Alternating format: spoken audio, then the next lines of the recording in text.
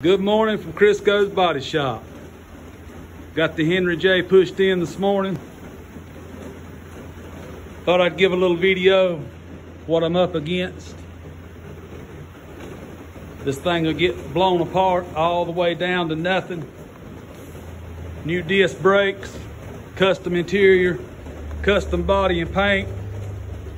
All the seams like this instead of seam sealer I'll TIG weld with silicon bronze.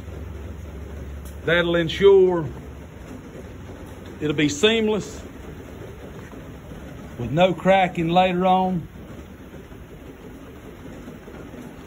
All new glass, if we can find it.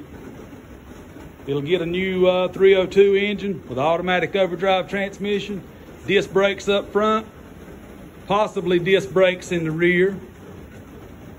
It'll be low to the ground with big nasty tires on the back. Talk to you later. Have a great day.